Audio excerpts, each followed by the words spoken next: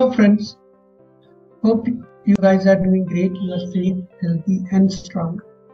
In this video, we will be discussing the different types of insurances required in residential loan. You may have heard terms like UFMIP, MIP, funding fees and guarantee fees. But do you know what they actually mean and why they are required? In this video, we will explore the various type of insurance and fees associated to the residential loans and how they apply to different loan types.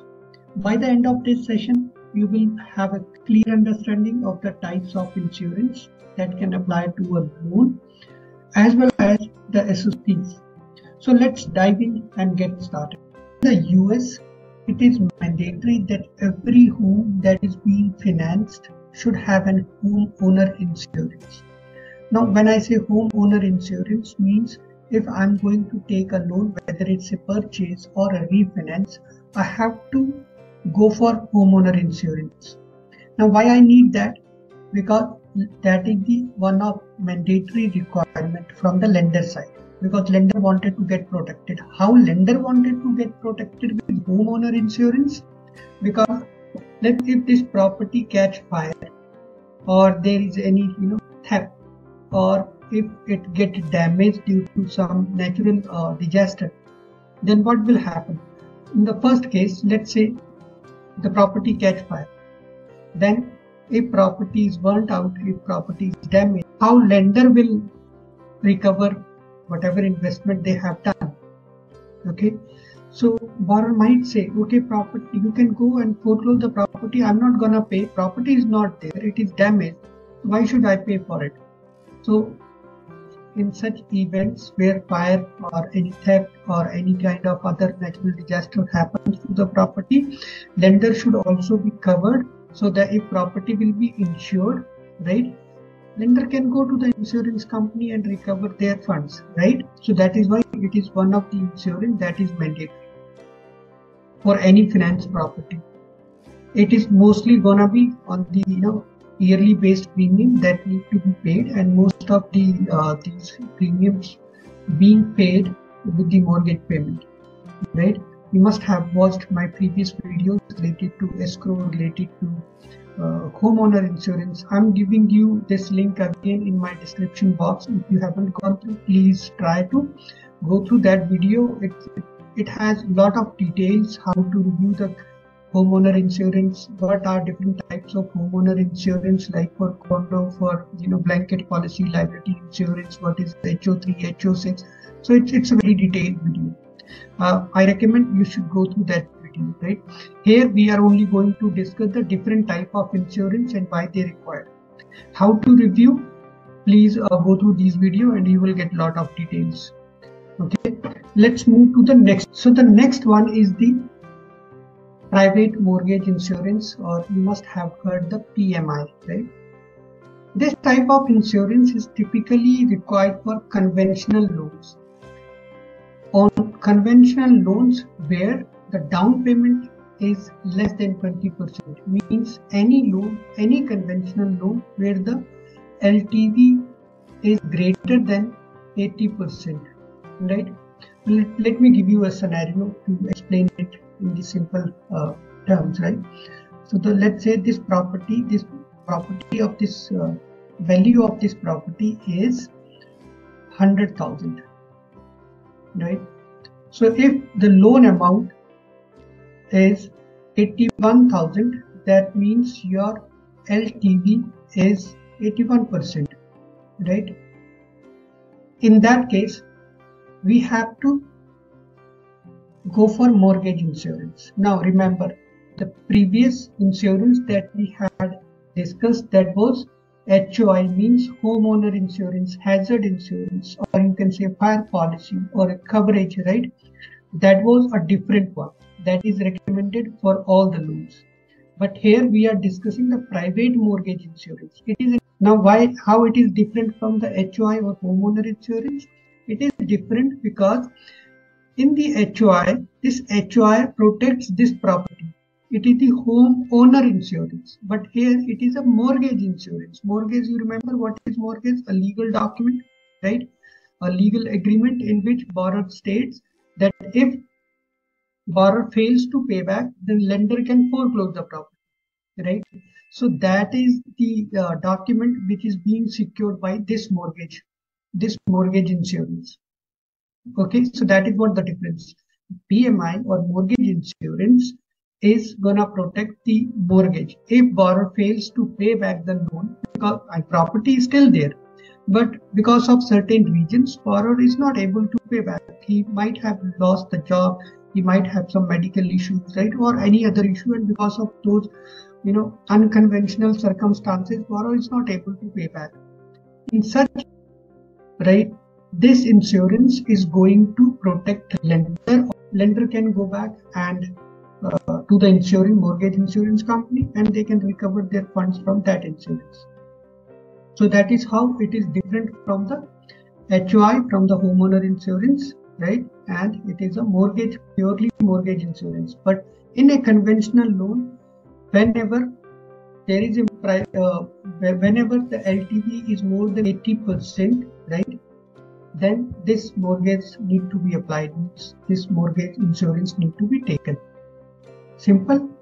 So whenever your LTV is going to be greater than 80%, this additional insurance will apply on your loan in the conventional program or in the convention for the conventional product. Right? Now, if you wanted to know why more than 80% and not on the other loans where LTV is less than 80%, let me give you, let me clarify it also. Okay. What happens if this home if I have invested out of 100,000, right, I took a loan from bank or a lender, right, for let's say 60,000. That means I'm gonna pay 40,000 as a down payment from my pocket, right? This is the down payment paid by the borrower.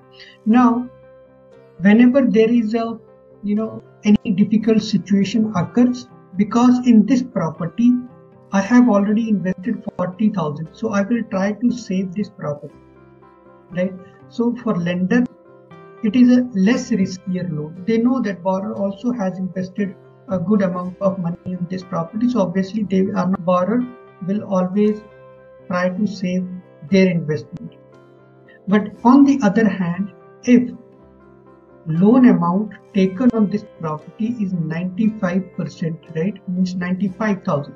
Then borrower has only paid 5,000 as a down payment. Now you see the risk. Here, if any circumstances will come where borrower will find a financial uh, hardship, he will still try to save his 40,000, right? But in here, if borrower comes under a financial uh, difficulty, right, he he, obviously he will think but not as as he's going to be concerned in the for, for the 40000 for 5000 he might say okay my my investment is very less just 5000 he might stop paying the payment. I will you know save something else instead of this property because there is only $5000 that is investment from the borrower side. So it becomes very riskier for the riskier for the less than 20% is a riskier loan for the lender side. That is why they always recommend private mortgage insurance on a conventional loan right? Again if you wanted to see you know uh, wanted to understand more how it is different from other insurances or what type of insurance those are being used for FHA loan, VA loan, please go through this video. I'm sharing the link in my description box. You will get a lot of information. What is the difference or what different type of insurances those will be applied and how what are the different uh, differences between the you know FHA insurance versus the conventional uh, private mortgage insurance. Okay? I hope uh, this private mortgage insurance is also clear. Let's move okay. So next type of insurance or next insurance that we are going to discuss is the flood insurance right? Now what is flood insurance? Flood insurance is also an important one. It may be required for properties located in the areas designated as high risk flood zones by the Federal Emergency Management Agency that is known as FEMA, right? Now, when it is going to be applied, whenever your subject property will be located in a zone which is declared by FEMA as a flood zone, right? So, this property is located on the mountain area right you know that flooding uh, there won't be any you know uh, threat of the flood right but if your property is located nearby the sea then there are high chances of flood. So you will go for flood insurance. But how we will get to know whether our property falls under the flood zone or not? It's very easy. There are so many online applications where we just need to put the subject property address and we can get to know whether our property comes under the flood zone or according to the flood certification if flood certificate tell uh, show us the property comes under the flood zone and there are different different zones right? A b. So whatever the flood zone our uh, property uh, for, comes under accordingly we will go for the flood insurance. But if our it, flood certificate tells us that okay property doesn't come under any flood zone we are good and we can skip this insurance. So that means flood insurance is will only be applied on those loans where our subject property is gonna be under the flood zone. Very simple, right? Let's move to the next title insurance. Very important, right? Each time we are going to, you know, finance any property, whether it's a refinance or purchase, title insurance will be recommended by the lender to save or, or the funds or investment that lender has done, lender will always go for title insurance. So if you wanted to know more about the title insurance, how it get applied, why it is required, what is the difference between the title commitment and the final policy or the you know, preliminary title, here is the link. I will provide the link in the description box. Please go through this video and you will get a lot of detail uh, about the title insurance and the title how the underwriter should review a title a document or preliminary title commitment, all those documents. So the next insurance that we are going to talk about that is the mortgage life insurance. Have you heard about mortgage life insurance? You might have not heard about this uh, insurance because it's optional for borrowers, right? It's designed to pay off the remaining balance on a mortgage in case the borrower dies before the loan is paid off. Right. So what happens uh, let's say there is a borrower who took a loan on this property for 500000 right. And within 6 months that bar- that borrower dies. Right. The loan amount was let's say $450000 he was the only you know, uh, breadwinner for his family. So since this person dies, how his family is going to pay the loan amount because there is no other earning per member in that family. So in the case of such events, if the borrower go for mortgage life insurance, then if such you know such uh, event happens, lender can go to the mortgage life insurance company and they can recover their funds from there. So it's an important mortgage life insurance, you know, which I recommend personally that everyone, whoever taking a loan and there is no other person involved in the loan, they should go for such uh, mortgage life insurance so that their family is always secure. Okay. Now we will talk about the fees or charges that apply on the different different loan types residential loan types okay